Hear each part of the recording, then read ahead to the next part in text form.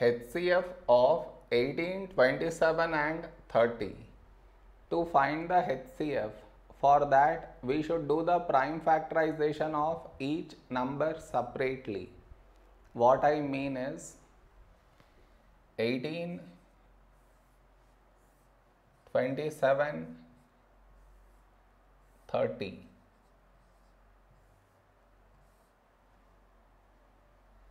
This is your step 1.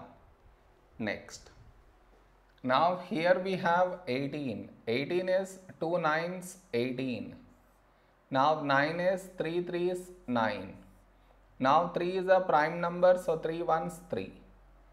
Now the other number 27. 27 is 3 nines 27.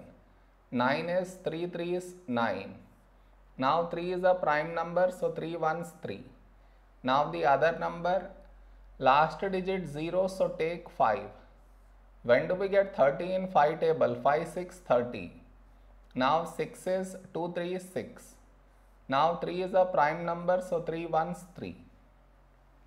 Therefore our HCF is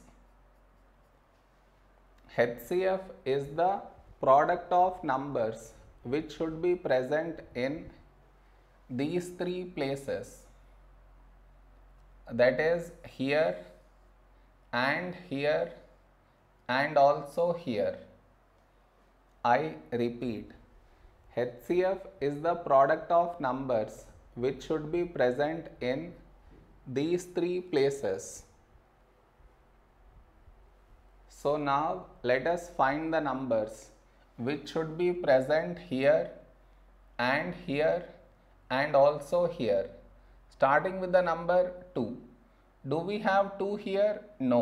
So no need for us to check in the other place. Next number 3. Do we have 3 here? Yes.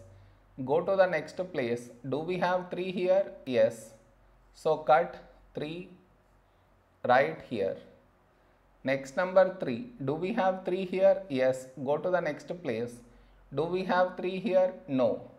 We don't have 3 present in all the 3 places so we cannot write here. No more numbers have been left out.